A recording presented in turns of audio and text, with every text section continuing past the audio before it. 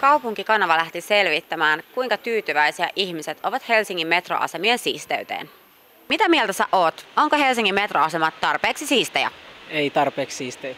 No kyllä ne vois olla vähän siistimpiäkin. On. Mun mielestä on, pidetään tosi hyvää huolta näistä. No useimmat on ja, ja, ja, ja ne uudet nyt sitten siellä Espoon puolella, nehän on siis superpuhtaita, mutta e, esimerkiksi tämä Hertoniemen asema, jossa me nyt ollaan, on vanha ja vähän nuhjanen. No, kun yleisesti ottaen katsoo, niin ei, ne ei näytä aina niin siistin.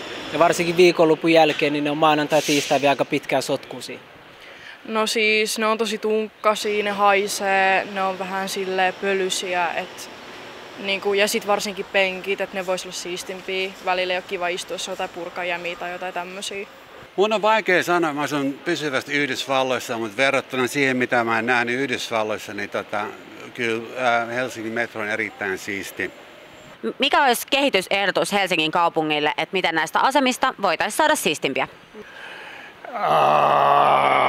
no ainakin roskiksia täytyy olla tarpeen. No vois siivoojat käydä vähän useammin, että niinku pitää semmoista yleispuhtautta yllä.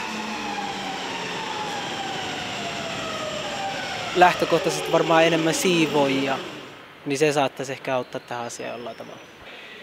No itse asiassa onhan sitä niin, että ihmiset jättää, tiputtaa kaikkea, että ihmiset sais korjata vähän käytöstään.